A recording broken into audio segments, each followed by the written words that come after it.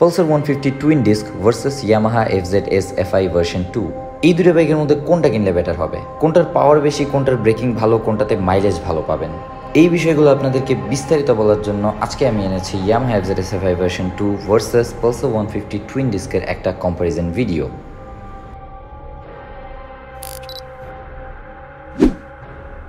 hello guys welcome to bike lover bachelor welcome to another new video আশা করি সবাই ভালো আছেন। আজকে ভিডিওতে আমার সাথে দুটো বাইক আছে।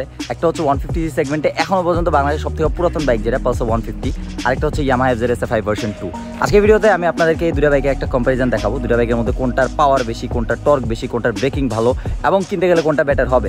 যদিও দুটো বাইকের প্রাইসের মধ্যে হালকা একটু, হালকা না, আসলে একটু ভালোই ডিফারেন্স আছে। পালসারটার প্রাইস আগে কম ছিল, এখন বর্তমানে অনেক বাড়ছে। এখন বর্তমানে টুইন ডিস্ক মডেল যেটা, এটার প্রাইস হচ্ছে দুই লক্ষ পনেরো হাজার টাকা। আর এবিএস মডেল যেটা, ওটা দুই লক্ষ সতেরো হাজার টাকা। পালসার ওয়ান ফিফটিটা। তো পালসার ওয়ান ফিফটি প্রাইস অনেকটুকু বাড়ছে আর এই যে F Z S I version two এটার বর্তমানে প্রাইস হচ্ছে দুই লক্ষ সাতাশ হাজার টাকা। তো এখন চলুন আপনাদেরকে বাইক দুটোর স্পেসিফিকেশন সম্পর্কে বলি, তারপরে রাইড করে আপনাদেরকে ডিফারেন্সগুলো দেখাতে থাকি এবং তারপরে বলব যে কার জন্য কোনটা বেটার হবে। Pulsar one fifty twin disc এ বাইকটাতে রয়েছে একটা one fifty cc single cylinder two valve air cooled engine এই ইঞ্জিন থেকে ম্যাক্সিমাম পাওয়ার প্রডিউস করা হচ্ছে ফোরটিন পিএস এবং ম্যাক্সিমাম টর্ক প্রডিউস করে thirteen point two newton metre F Z S F I version two তো প্রায় same টাইপের engine one forty nine cc single cylinder air cooled two valve engine এটা থেকে maximum power produce করে thirteen point two PS এবং maximum torque হচ্ছে twelve point four newton metre power এটা কম প্রডিউস করে টর্কও কম প্রডিউস করে, এটা পাওয়ার টর্ক বেশি প্রডিউস করে। বাট এটা একটা অ্যাডভান্টেজ আছে, সেটা হচ্ছে এটার ওজন কম আর এটার ওজন বেশি। তো দুটা বাইকের মধ্যে আমরা একটা জিরো টু হান্ড্রেডও করব এবং তারপরে দেখব যে জিরো টু হান্ড্রেড দুটা বাইকের মধ্যে কোনটা ফাস্ট যায়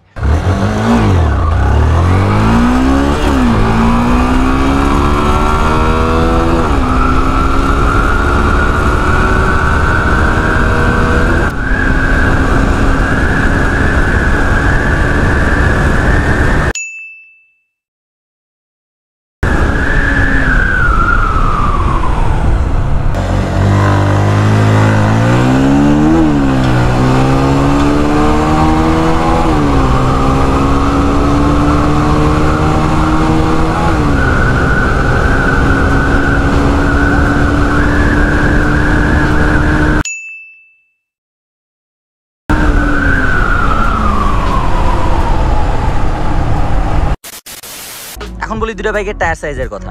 F Z S I version টুতে সামনে দেওয়া হয়েছে হান্ড্রেড সেকশন টায়ার পালসারের সামনে নাইনটি সেকশন টায়ার পালসারের পেছনের টায়ারটা হচ্ছে ওয়ান টোয়েন্টি সেকশন আর এফ জেড এর পেছনের টায়ারটা হচ্ছে one forty section F Z S I version টুতে সামনের ডিস্ক হচ্ছে টু এইটি টু মিলিমিটার এবং পালসারে এটা হচ্ছে টু সিক্সটি মিলিমিটার পালসারের পেছনের ডিস্ক হচ্ছে টু থার্টি মিলিমিটার আর এফজের পেছনের ডিস্ক হচ্ছে টু টোয়েন্টি মিলিমিটার বাট দুটো বাইকের ব্রেকিং ফিডব্যাকের কথা যদি বলি, অবশ্যই এটার ব্রেকিং বেটার এটার ব্রেকিং বেটার না কেন? কারণ এটার পিছনের ব্রেক থেকে এতটা স্ট্রং বাইট পাওয়া যায় না। তার উপরে এটার ওজন বেশি এবং টায়ার সাইজ স্লিম এটার আবার ওজন কম। এটাতে টায়ার ওয়াইড এবং এটাতে সামনের ডিস্ক ব্রেকটা বড়। পেছনের ডিস্ক ব্রেক এটাতে ছোট, এটাতে বড় বাট ব্রেকিং বাইটের কথা যদি বলি, এইটার ব্রেকিং বাইট স্ট্রং এখন চলুন এই দুটো বাইক রাইড করা শুরু করি এবং রাইড করে বলব আপনাদেরকে যে কোনটা কেমন লাগে, কোনটা প্রাইস হিসেবে কেমন হবে। এখন বলব দুটো বাইকের মাইলেজের কথা। F Z version two FI হওয়ার কারণে ভালো মাইলেজ দেয়। এটাতে যেহেতু কার্বোরেটর ইঞ্জিন মাইলেজ এটা Pulsar one fifty single disc যে, ওটা থেকে কম দেয়। এটার পারফরমেন্স এবং মাইলেজ দুইটাই ডিপেন্ড করে হচ্ছে এটার কার্বোরেটর টিউনের উপরে। যদি টিউন ভালো হয়, ঠিকঠাক মতো থাকে, আপনি পারফরমেন্স মাইলেজ দুইটাই মোটামুটি ভালো পাবেন। টিউন বাজে হয়ে গেলে হয় পাওয়ার ভালো পাবেন, নয় মাইলেজ ভালো পাবেন, নয় দুটো একটাও ভালো পাবেন না। ঢাকা সিটির ভিতরে অবশ্যই F Z S FI version টুটা ভালো মাইলেজ দিবে। আর এফআই বাইকের আরও একটা সুবিধা যেটা, সেটা হচ্ছে এফআই বাইক লং টার্মেও পারফরমেন্স একই রকম রাখে। মানে যেহেতু এটাতে আর কার্বোরেটর টিউনের মতো আলাদা কোনো বিষয় নাই। এই জন্য দেখা যায় লং টার্মে মাইলেজও একই রকম দেয় পারফরমেন্সও একই রকম দেয়। বাট কার্বোরেটর বাইকগুলো যেগুলো আছে, ওগুলো দেখা যায় যে কার্বোরেটর টিউনিং একরকম থাকলে পারফরমেন্স একরকম দেয়। টিউনিং ভালো হলে ভালো পারফরমেন্স টিউনিং খারাপ হলে খারাপ পারফরমেন্স আফটার সেল সার্ভিসের কথা যদি চিন্তা করেন, তাহলে ইয়ামাহা থেকে ভালো আফটার সেল সার্ভিস আর কোনো ব্র্যান্ড দেয় না। আপনি বাইক নিয়ে গেলে যে কটা ফ্রি সার্ভিস আছে, আপনার যখন সার্ভিসের টাইম হবে, এরা আপনাকে সোজা কল দিয়ে ডেকে নিয়ে যাবে। ইয়ামাহার ব্যাপারে সব থেকে বেস্ট জিনিস হচ্ছে এটা। বাজাজের ব্যাপারে সব থেকে বাজে যে জিনিসটা লাগে সেটা হচ্ছে বাজে আফটার সেল সার্ভিস খুবই বাজে।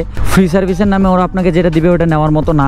আরও একটা বড় বিষয় হচ্ছে বাইকের রাইডিং ফিল এফজেডের ব্যাপারে যদি ভালো লাগার মতো জিনিসগুলোর কথা বলি, তাহলে এফজের ব্যালেন্সিং আমার কাছে অনেক ভালো লাগে।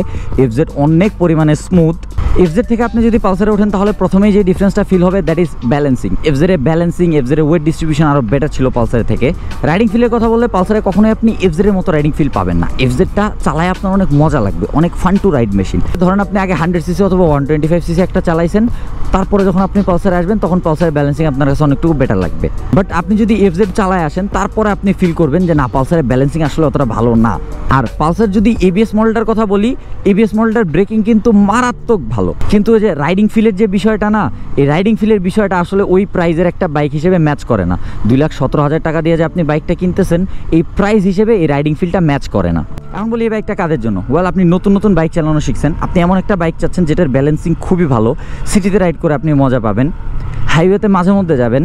আপনার প্রাইস রেঞ্জ আছে একটা F Z S F I version two কেনার এবং আপনি রিলায়েবল একটা বাইক চান, তাহলে Yamaha F Z S F I version two আপনার জন্য খুবই ভালো একটা চয়েস পালসার যারা কিনে ম্যাক্সিমামই কম প্রাইজের জন্য কিনে, আর কম প্রাইজের জন্য যদি আপনি কিনেন, তাহলে Pulsar one fifty single disc যেটা, ওটা নেওয়া আপনার জন্য বেটার টুইন ডিস্কের দিকে না যাওয়া বেটার পালসার টুইন ডিস্ক ওই পালসার না যেটা চালায় আপনি পালসারের প্রেমে পড়বেন। এটারও পারপাস হচ্ছে eighty percent time city ride এছাড়া টোয়েন্টি পার্সেন্ট টাইম আপনি হাইওয়েতে যাচ্ছেন হাইওয়েতে বেশি রাইড হচ্ছে না, মোটামুটি ভালোই ব্যাকআপ দিবে আপনাকে। তো এই ছিল এই দুটো বাইকের কাহিনী। এখন কেউ যদি এই দুটো বাইকের মধ্যে চুজ করতে কোনো কনফিউশনে থেকে থাকেন, আশা করি আপনাদের কনফিউশন দূর হয়ে গেছে। আজকে ভিডিওটা এই পর্যন্তই। That's it for today thanks for watching see the next one till then stay wear helmet ride safe and keep watching bike lover bachelor